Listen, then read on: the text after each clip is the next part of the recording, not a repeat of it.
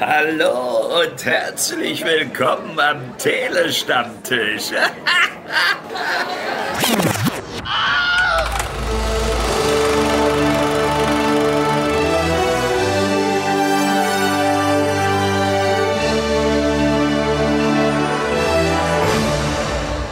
Der Wald ist ein besonderes Wesen von unbeschränkter Güte und Zuneigung, das keine Forderungen stellt und großzügig die Erzeugnisse seines Lebenswerks weitergibt. Allen Geschöpfen bietet er Schutz und spendet Schatten, selbst dem Holzfäller, der ihn zerstört. Und damit herzlich willkommen zu einer neuen Podcast-Folge des Telestammtisch. Wir besprechen heute den deutschen Film Milchzähne, der zu, ja würde ich sagen, also der nicht wenig im Wald spielt. Und das mache ich natürlich nicht alleine, das mache ich mit Paul. Hallo. Hallo zusammen. Ich bin Johannes. Milchzähne startet am 21. November in den deutschen Kinos, basiert auf einer Romanvorlage, die den gleichen Titel trägt. Und Paul, du kannst uns verraten, worum es im Film geht, korrekt? Ja, und äh, das Ganze ist nicht nur ein Debütfilm von der Regisseurin, die wir hier haben, von Sophia Bösch, sondern es ist auch ein Debütroman, der hier zugrunde liegt, äh, der von Helene Bukowski, der 2019 erschienen ist. Und äh, der Film und auch das Buch dreht sich um eine junge Frau namens Skalde, die lebt in einem recht abgelegenen Dorf, ist die Tochter einer ja, Außenseiterin, mittlerweile selbst aber in der Dorfgemeinschaft anerkannt. Und eines Tages findet sie ein Kind in dem nahegelegenen Wald, das auf die Frage, woher kommst du? mit über verbrannte Felder antwortet. Erst ist Skald etwas unschlüssig, was sie denn tun soll, dann nimmt sie das Kind aber bei sich und ihre Mutter zu Hause auf und das, obwohl die Dorfgemeinschaft eigentlich keine Fremden bei sich duldet. Und als die Leute und auch der Dorfvorsteher davon erfahren, spitzen sich die Geschehnisse um Skalde und Maces bedrohlich zu. Wunderbar. Du hast jetzt ja eigentlich schon fast ein bisschen mehr erzählt, als der Film am Anfang erzählt, weil er ja eigentlich so ganz ohne Erklärung erstmal einsteigt. Ne? Wir sehen so ein bisschen den Wald, wir sehen äh, Skalde, die halt den, den Wald erkundet und auch das, das junge Mädchen, was sie dann äh, treffen wird. Wie fandest denn du denn diesen Einstieg, der ja auch so mit so, ja, Naturaufnahmen mit, sagen wir mal, sehr krasser Tiefenunschärfe arbeitet?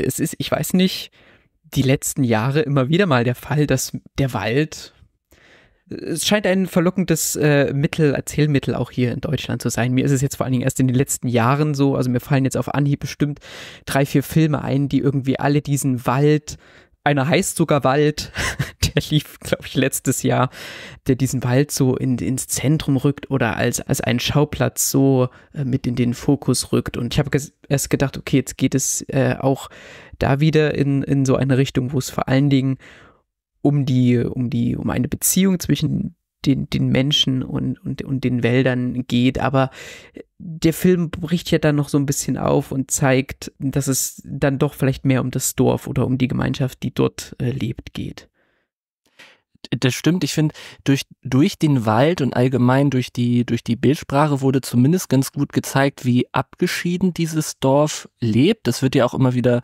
kommuniziert, dass diese, das ist eine sehr eingeschworene Dorfgemeinschaft. Die sind sehr skeptisch gegenüber den Fremden.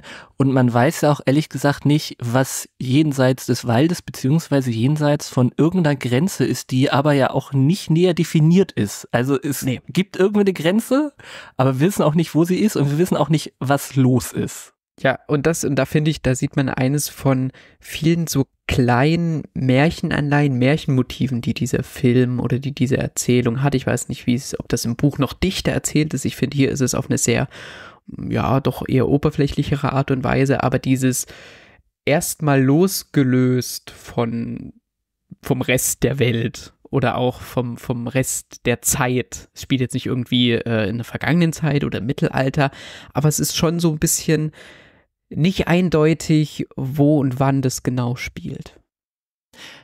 Das stimmt, ne? Ich glaube, im, im, im Pressetext steht auch sowas von, ich glaube, naher Zukunft. Also man könnte es vielleicht ein bisschen so eine, weiß ich nicht, so ein dystopisches Ja, ich habe auch was Setting gelesen packen. von, von, ja. von postapokalyptisch, habe ich auch gelesen, ja. Oh, aber eig- eigentlich wird das gar nicht so beschrieben. Also ich Ja. musste auch so ein bisschen an The Village denken von M. Night Shyamalan, wo ja auch so eine enge Gemeinschaft zusammenlebt und auch von so einer von so einer Bedrohung von außen äh, beschrieben wird, nur dass sie sich da halt anders äußert als hier. Wie, wie, wie hat dir denn hier diese Dorfgemeinschaft, wie die geschildert wird, beschrieben? Weil einerseits ist es ja schon so, ne, die kennen sich alle, die sind auch nett äh, miteinander. Andererseits ist es ja schon so ein hierarchisch geordnetes System. Ja, da, da passt vielleicht auch so ein bisschen das, das Postapokalyptische wieder rein. Irgendwie, es hätte auch so eine Version von äh, The Walking Dead teilweise sein können, aus den ersten Staffeln, wenn es darum geht, so wie sich genau die Menschen nach so einer Katastrophe irgendwie neu organisieren. Äh, so die Assoziation hatte ich da auch und letztendlich, ja, ich fand das ganze Dorf an sich oder auch die Figuren, die darin eine Rolle spielen, mehr Mittel zum Zweck, als dass ich sie jetzt als echte Figuren oder so empfunden habe. Denn letztlich geht es ja darum, hier diesen Zwiespalt oder dieses, diese Gemeinschaft aufzumachen, von wegen, ähm, diese eine Gemeinschaft, die hat die und die Regeln, die befolgt das und das ähm, und schottet sich gegenüber allem anderen ab. Und in dem Falle ähm, kann ich jetzt gar nicht so viel zu dieser Dorfgemeinschaft oder so an sich sagen, weil es für mich einfach nur dafür da war, um diesen Kontrast, und da bin ich auch wieder bei so ein bisschen bei schlicht oder plump diesen Kontrast von wir sind hier und die anderen sind da draußen, die wollen wir von uns fernhalten, mit denen wollen wir nichts zu tun haben, um den zu illustrieren und weniger als ein ja, als eine Gemeinschaft oder so, die sich entwickelt oder als Figuren, die sich, die, die dort leben. Ich weiß nicht, wie du das wahrgenommen hast. Ich, ich bin da ganz bei dir. Ne? Man sieht ja vor allem auch, also es gibt auch äh, jüngere Personen in diesem Dorf, aber man sieht vor allem ältere Leute, die auch das Sagen haben. Ne? Es geht äh, wirklich, also man hat so ein, so ein Stillstand und ich finde auch, also ich mag Ulrich Mattes als Schauspieler sehr gerne, aber das ist schon so ein gewisses Typecasting, dass er gerade den Dorfvorsteher spielt, weil er ja schon so ein, also er sieht halt schon aus wie so ein, so ein Villain, ne? Also ist es klar, also ich finde, der kann auch irgendwie sowas väterlich väterliches und irgendwie was warmherziges haben, aber der hat da ist schon immer so eine gewisse Bedrohlichkeit drin und das passt halt schon dazu, wie sich der Film dann entwickelt. Mhm. Total. Und genau, also der Film entwickelt sich das, ich, ich weiß gar nicht, ob man da groß spoilern kann, weil ich finde, es ist relativ klar, was auch passieren wird. Wir haben quasi ne, die, die drei Frauen unterschiedlicher Generationen, die da so ein bisschen außen vor stehen und dann auf der anderen Seite das Dorf. Wie, also du, du hast schon plump gesagt, ich würde sagen, das gilt auch für den weiteren Verlauf des Films, oder? Der, der stellt halt diese, diese Othering-Prozesse auf eine, ja, sehr einfache Art und Weise dar. Mhm. und taucht da gar nicht so tief in die, in so tiefer liegende Strukturen rein, auch weil die Welt drumherum, weil das Worldbuilding ja sehr zurückhaltend bleibt und auch wenn über, wenn über die Fremden oder wenn über die, das Schicksal von dem Kind gesprochen wird, dann ist es alles so, es ist alles so vage. Du hast nie diesen Moment, wo, wo das Ganze mal mit etwas mehr Informationen unterfüttert wird und man vielleicht da noch tiefer eintauchen könnte hatte ich zumindest das Gefühl. Ja, voll. Also ich finde einerseits ist es ganz clever, dass ganz viel irgendwie nur angedeutet wird, weil dadurch hat, hat die Geschichte ja irgendwas Universelles, aber es fehlt dann halt auch so eine, also es fehlen so markante Dinge, weil also natürlich ist die Frage, wie neu muss immer ein Film Dinge erzählen, aber alles, was dieser Film erzählt, mit diesen Gruppendynamiken, mit dieser eingeschworene Gemeinschaft, die irgendwie abseits der Zivilisation lebt und wenn du den, den, den Werten, den Normen halt irgendwie entgegenstehst, dann wirst du halt ausgeschlossen. Das ist ja ehrlich gesagt nichts, was es nicht schon mal gegeben hätte, ne? Ja. Und ja, Richtig. ja, und da bin ich irgendwie unsicher. Also ich, ich, ich kann schon verstehen, also man kann das natürlich zeigen, ist die Frage, und ich glaube, du siehst es auch so, der Film macht daraus dann doch zu wenig, ne? Ja. Äh, ja, auch weil er viele Themen anreißt, aber viele Themen dann halt nur so mal ankratzt. Also klar, wir haben hier die Fremdenfeindlichkeit, wir haben das Außenseitertum von äh, Skaldes Mutter, wir haben einen Generationenkonflikt, ja auch. Wir haben äh, das Machtgefälle von, von Mann und Frau, was natürlich alles irgendwie äh, zusammenhängt und jetzt nicht einzeln auch einfach so voneinander betrachtet werden kann. Aber das ist alles was, was hier stattfindet und da hätte ich mir vielleicht entweder eine Vertiefung von einem der Themen oder eine Vertiefung von diesen, von diesen Märchenmotiven oder von so düsteren Gruselthemen, Mystery-Elementen gewünscht, aber auch die bleiben hier seicht. Ja, das, das habe ich mir auch gedacht. Also ich finde, so, also der Film ist ja klar ein Drama, würde ich sagen. Der geht nicht mhm. so, also der greift immer mal wieder so Genre-Motive auf, aber der geht nie ins Genre rein. Und ich hätte gedacht, ja. Genrefilme können, finde ich, gern mal irgendwie plump und äh, irgendwie oberflächlich sein, weil dann in der Drastik vielleicht bestimmte Sachen gezeigt werden. Aber das macht der hier ja nie. Also es gibt mal so kleine Gewaltspitzen und es gibt halt auch immer so dieser, diese Mystik von diesen angeblichen ne, Wölfen, die quasi das, das, das Dorf irgendwie infiltrieren, aber da wird ja nie drauf, drauf, drauf eingezahlt und das fand ich dann schade und für, für den Ansatz hätte es dann komplexer sein müssen, würde ich sagen. Ja, ja, definitiv fandest du denn, wie, wie fandest du denn die Inszenierung? Weil der versucht ja schon, der ist ja sehr langsam erzählt. Ich weiß nicht, ob man da, ne, das Wort Slow Burn wird ja, glaube ich, inzwischen sehr gerne genutzt bei allen Filmen, die irgendwie nicht äh, den gängigen äh, Erzählrhythmus ähm, ja äh, passen, aber hat, hat dich das zumindest mitgerissen? Also ich finde, der versucht ja schon so ein, weiß ich nicht, sowas, ne, so ein, ja, sowas Sphärisches schon so ein bisschen aufzumachen, oder? nach dem Einstieg habe ich noch gedacht, okay, er geht noch tiefer in diese Richtung und er geht noch mehr äh, auf, in diese Richtung, auch wie mhm. gesagt in Verbindung mit dem Wald, aber auch da, wie bei den, wie bei den vielen Elementen, lässt der Sog dann schon ziemlich schnell nach, fand ich. Und dann muss ich sagen, dass die 100 Minuten, dass da schon die ein oder andere Länge für mich auch spürbar war. Ja, ging mir auch so, weil das dann irgendwie auch nicht mehr genug genutzt wird. Also am Anfang habe ich fast gedacht, dass man irgendwie in so einem ASMR-Video ist, weil auch diese, also ne, wenn wenn Skalde mit ihrer mit ihren Händen durch den durch den durch die Erde fährt und das ist super auf, also super klar ähm, hört man das und das das wird alles weniger. Auch die Tiefenunschärfe, die ist dann nicht mehr so da. Ich hätte mir dann ist halt die Frage, der hätte dann glaube ich noch mehr in diese einfach nur Waldbetrachtung oder die Dorfbetrachtung irgendwie gehen ja, können. Was, ja. was, was Hypnotischeres, wenn mhm. sich dann, also es passieren ja auch dann durchaus Dinge, die dann so auf einem, einem Level von einem Mystery-Thriller sind oder so und dann verschwinden Leute und das aber auch, ha, das entfaltet nie die Kraft, die es haben könnte oder die es vielleicht auch in dem Roman hat, wenn es denn in dem Roman vorkommt. Ja, auch, auch weil da auch ja wieder ganz viel in der Schwebe bleibt. Also ich, ich, ich ich bin da auch immer irgendwie noch unsicher, ist es jetzt irgendwie eine clevere Entscheidung? Also es verschwinden dann halt äh, Leute aus dem Dorf und das wird auch nicht mehr, also natürlich wird das aufgegriffen, aber wieso und was? Das erklärt, wird eigentlich gar nicht erklärt. Hat, haben für dich denn wenigstens die, die zentralen Figuren und die Schauspielerinnen, äh, haben die für dich funktioniert? Also Mathilde Bunschuh äh, spielt ja Skalde, Susanne Woll spielt Edith, Edith und äh, Viola Hinz spielt Mesis. Die drei, haben, mhm. haben, haben die für dich irgendwie eine, weiß ich nicht, haben, hatten die eine Dynamik für dich? Ja, ich fand es am interessantesten eigentlich, wenn sich so die, die, die, weiblichen Hauptfiguren, wenn die sich so zusammengeschlossen haben und quasi eine Allianz auch gegen die, gegen den, den Dorfvorsteher oder gegen die äh, Mechanismen dieser Dorfgemeinschaft da gebildet haben. So als Figuren an sich habe ich bei vielen das Problem bei dem Dorfvorsteher, bei vielen anderen aus dem Dorf sowieso, die wirklich manchmal einfach wie, wie so Aufstellfiguren hinter dem Dorfvorsteher stehen ich fand, das sah in einigen Szenen, auch wenn sie sich da vor dem Haus irgendwie aufbauen, richtig platziert aus.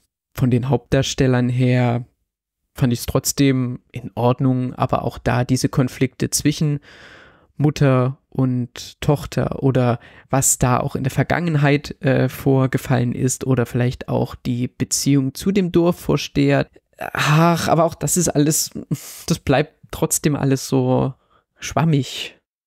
Ja, das ging mir auch so. Ich finde, der ganze Film, der ist super unentschlossen. Also auch gerade die Figur, finde ich, von Susanne Wolf, ich finde, die macht mir viel zu wenig. Und auch diese Rückblenden, die werden ja eher sporadisch eingesetzt.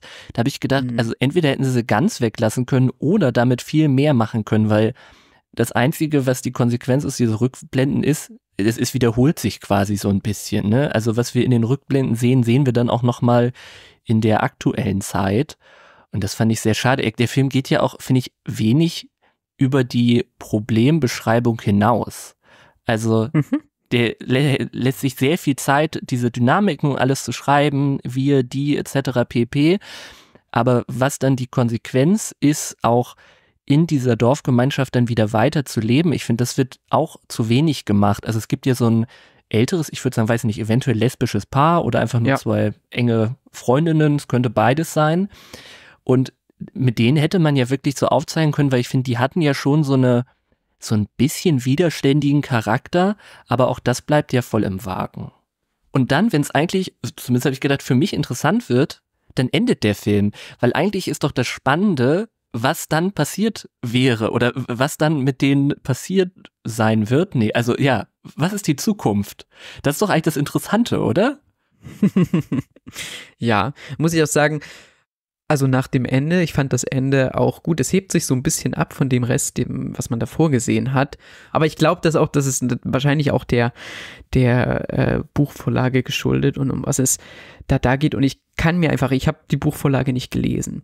Ich mhm. habe mal ein bisschen reingelesen in die ersten äh, Seiten. Ähm, ich könnte mir vorstellen, dass das einfach in der Vorlage noch dichter erzählt ist, als es hier letztendlich inszeniert und aufbereitet ist.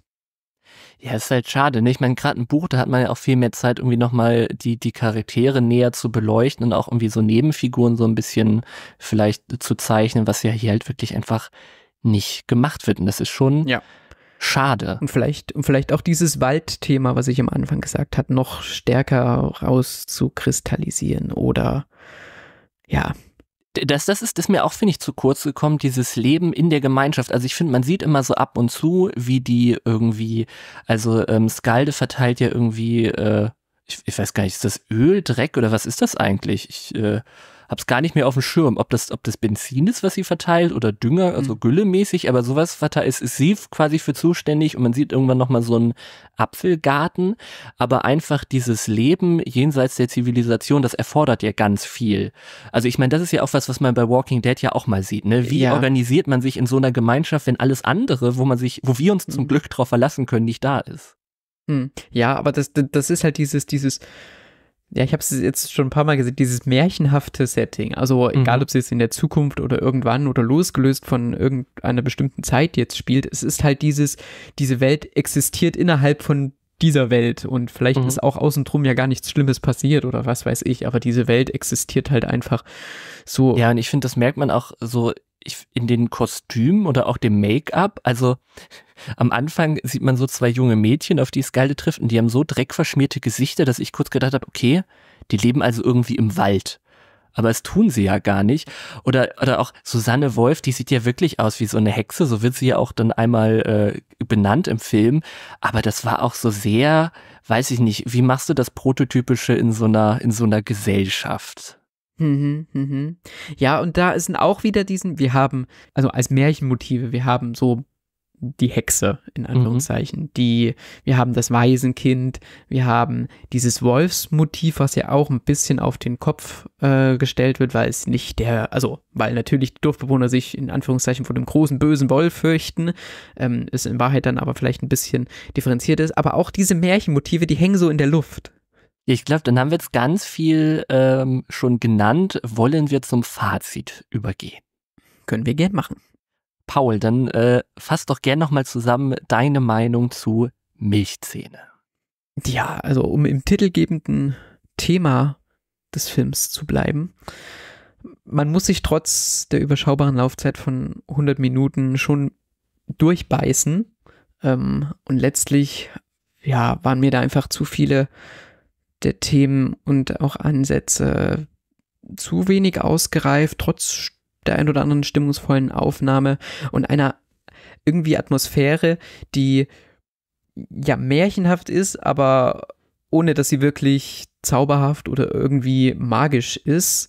Ähm, ich glaube, die Buchvorlage werde ich mal äh, im Blick behalten und vielleicht auch, was die Regisseurin in einem ihrer nächsten Filme äh, machen wird. Bei dem Film bin ich erstmal vorsichtig zurückhaltend das, das geht mir ähnlich. Also ich finde, ist das potenziell Potenzial da. Ich finde, es gibt einige Szenen, die ganz interessant sind und auch die, die, die Idee dahinter. Ich finde es auch schön, so einen deutschen Film zu sehen, der so ein bisschen mit dem Genre spielt, aber der ist dann halt irgendwie doch nicht genug in ganz, also die Ansätze sind da, aber die werden dann irgendwie nicht ausgespielt. Ich musste auch während des Films, ich weiß nicht, ob du den gesehen hast, Animalia, ist ein französischer mhm. Film. Ja, ja. Der in eine, ja, also er macht, macht schon ein anderes Thema auf, aber mit ähnlichen, auch, also es geht halt auch um so Ausgrenzung etc. pp. und auch um Erwachsenwerden. Ich finde, der macht das auch vor allem visuell deutlich besser, diese Natur mit einzufangen.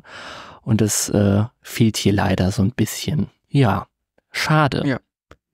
Hm, ich kann noch äh, als letztes hier äh, eine Empfehlung in den Ring werfen. Wer noch eindringlicheres äh, deutschsprachiges Kino äh, sehen will, dem sei an dieser Stelle mal des Teufels Bad noch empfohlen. Da geht es auch so ein bisschen ähm, um, ja, um eine Außenseiterin in einem historischen Setting. Der neue Film, der Ich sehe, ich sehe RegisseurInnen, der läuft jetzt auch aktuell in den deutschen Kinos. Also der ist nochmal deutlich krasser in seiner äh, Erzähl- und Inszenierungsweise, aber ich fand den auch gut. Sehr schön, da bin ich sehr gespannt drauf. Ganz lustig. Ich habe tatsächlich, nachdem ich mir Milchzähne angeguckt habe, das neue Musikvideo von Soap and Skin angeguckt und äh, das ist der Künstlername von Anna Plaschke, die die Hauptrolle in äh, des Teufels Bad spielt. Ah. so klein ist die Welt. Okay, Falls ihr trotzdem äh, Lust habt, euch Milchzähne im Kino anzugucken, könnt ihr das äh, ab dem 21. November, vorausgesetzt der läuft bei euch. Ich glaube nicht, dass der einen großen, breiten Kinostart bekommt, aber wahrscheinlich in den größeren Städten wird er bestimmt in einem Kino laufen. Ansonsten den Telestammtisch gibt es überall, wo es Likes gibt. Schaut gerne auf unserer Website vorbei. Ihr könnt die Folgen kommentieren und auch gerne bewerten und schaut auch gerne auf unserem Discord-Server vorbei.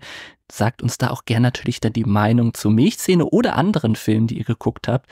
Vielleicht auch was, was in die Richtung geht. Wenn ihr sagt, okay, ihr habt jetzt den Trailer gesehen und ihr wurdet an einen Film erinnert, haut das gerne mal äh, raus, dann gucken wir uns das auch an, weil die, die Idee dahinter ist ja spannend und da gibt es bestimmt noch einige Filme, die in so eine Richtung gehen. Und dann würde ich jetzt äh, Ciao Ciao sagen und Paul dir das letzte Wort überlassen. Ich sage auch noch Tschüss und bis zum nächsten Mal. Sehr geehrte Damen und Herren, wertes Publikum, liebe Hörende, vielen Dank für eure Aufmerksamkeit und Zeit. Ich hoffe sehr, euch hat gefallen, was ihr gerade gehört habt. Wir, die Redaktion des Telestammtisch, betreiben ein semi-professionelles Podcast-Projekt zum Selbstmitmachen. Also meldet euch bei uns, wir beißen auf. Außerdem freuen wir uns immer über Feedback via Social Media und E-Mail sowie euren finanziellen Support. Ebenso frohlocken wir förmlich über Bewertungen auf den gängigen Podcast-Plattformen. Wer möchte, darf uns gern immer und überall empfehlen. Alle relevanten Links findet ihr in den Show Notes. Vielen Dank und bis zum nächsten Mal. Euer Andi.